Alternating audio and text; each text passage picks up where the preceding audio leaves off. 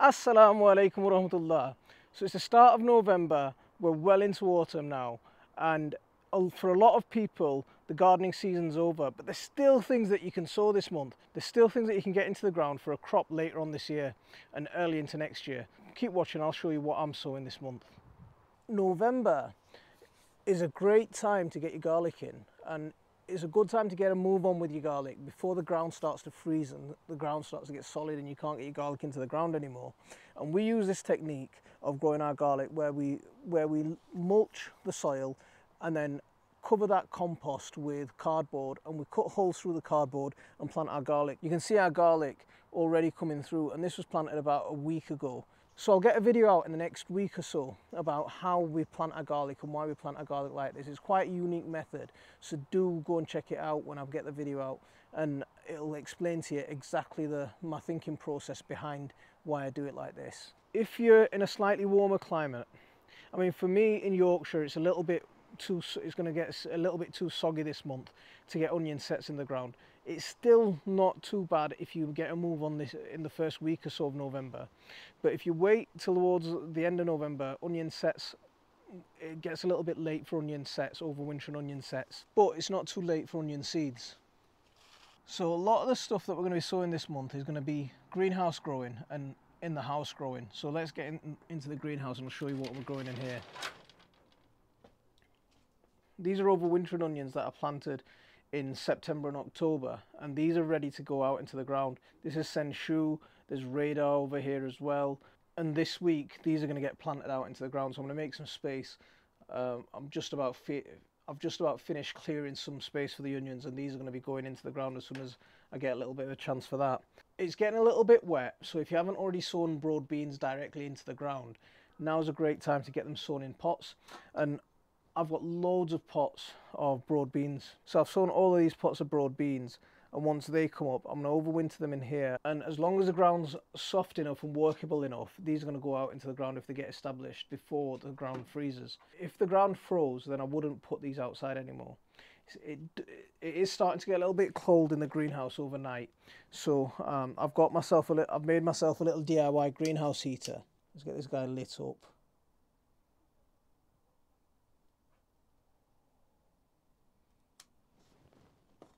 And I'll show you how I'm I've got a video coming out on how I made this greenhouse heater and what the whole logic behind it is. And I'll get a video out on that in the next week or two as well so keep an eye out for that. It'll be really interesting. It's a free greenhouse heater so you can't go wrong with it. This month's still a great month for salad leaves and this is loads of lettuce here. I'm clearing ground on my greenhouse floor and these are going to get planted out so I'm going to move those pots are going to go back into the house. There's some lemons and dates. They're going to go into the house and I'll get these planted into this area here. Some of those chilies will come out in the next couple of weeks and those lettuces will fill this greenhouse and I'll have produce coming up all the way through. See I've, it's November and I've still got tomatoes ripening. So with a bit of preparation and a bit of thought you can keep growing. Um, and once these once these chili some of these chili plants come out those those lettuces and those salads will just completely fill this. So that's another one that you can get. You can get loads of salad leaves into the ground. Because we're putting our gardens to bed and we want to rest our beds over winter, we want to protect our beds over winter, one of the best ways is putting cover crops onto the ground and getting cover crops established. It's still not too late for cover crops. There's cover crops that I've got established. Uh, I sowed them in October, but in these patches I had squash plants and courgette plants that were still there and I took those out earlier this week and I've sowed my uh, I've sowed some more mustard in place. You can still get certain cover crops like mustard and rye that'll get themselves established in the cold and they'll keep your garden protected all the way through winter. So I'm just getting these sticks into place because what I'm going to do at the base of these is I'm going to sow some peas into the ground here. See peas are a really good hardy crop they're surprisingly hardy. Something like Kelvedon Wonder will do really well over winter. They might need a little bit of protection from when it's really frosty and really cold, but, but other than that, if you get your peas established, I mean, normally what we do is we grow our peas in gutters and then we plant, transplant those gutter peas into the ground and we get the sticks in the ground. But if you wanted to, the ground's still warm enough to get your peas established into the ground now. Or you can go with the gutter method and then just transplant them into the ground afterwards. There's some seeds now that we're going to get established this month and we're going to need a little bit of more equipment to get them started and get them going through winter but we're going to have to head into the house for that. So come on, come with me. So this month it's time to get some of this old equipment out and dust them off and get them cleaned up and get them ready to get working again. It's been close to about eight months since I've had these in use so it's important to check that they're all working fine. Check if you've got timers on them to get the timers working and the seeds that we're to get sowing is we're to start sowing our chilies towards the end of the month.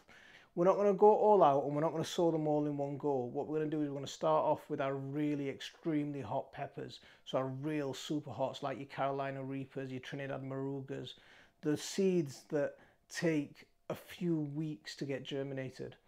Even with pro heated propagators, they can take a couple of weeks to get germinated. So towards the end of November, if we start getting our seeds planted, remember we have quite a unique way of growing our chili seeds.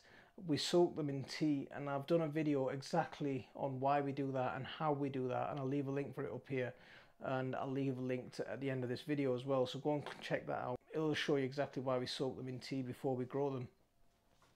But I'm going to start off with my Carolina Reapers and all your habanero types and I'm going to get them sown probably the last week of this month. Last year we sowed them a little bit late. We sowed them mid-December and we started harvesting chilies from about June July onwards. But our real harvest came in September and October and we've still got loads of chilies on the plants loads still to harvest yet. But because they are such a long growing plant get them sown even earlier so November for me is an ideal time to get them sown if you're growing them as annuals but if you're overwintering them then obviously that's going to be an absolute bonus there's one herb that we grow all year round and that's coriander it doesn't need much light and it's surprisingly hardy as well. But we move from growing it outside in the frost and in the cold to growing it on windowsills in the house. So on a sunny windowsill, you can grow coriander all year round. So we grow our coriander by taking seeds like that, we soak it and then we wrap them in a cloth and then we sprout them in there and then put them in pots or onto the ground once they've sprouted. There's a whole video on that. It's probably the best video on growing coriander on YouTube. Go and check it out. I'll leave a link for it up here. But we grow coriander in pots on windowsills right now. So we'll sprout a few. The amount of seeds that we sow right now will go down quite a bit. So instead of soaking cups full at a time, I'm only going to be soaking enough for a couple of pots that we can just fit on our kitchen windowsill. And that'll allow us to grow coriander all the way through the year and we'll just do successional sowing. So as soon as we start harvesting from one pot, we'll plant another pot. And I've explained all that and I've explained the technique in that video, so do go and check it out. That's a quick run through of the seeds that I'm going to be sowing this month and some of the things that you can try as well. It's not over. The gardening season by far is not over. I think this time of the year is the time when the gardening season is just beginning and I'll explain that. I'll do a video explaining why, why I think that I'll lay out my arguments. But if you do like what you've seen, make sure you hit that like and subscribe for regular updates. I also make videos on Patreon, so if you want to support our channel, that's a great way of supporting us. I'll leave it there for this one. Assalamu alaikum wa rahmatullah.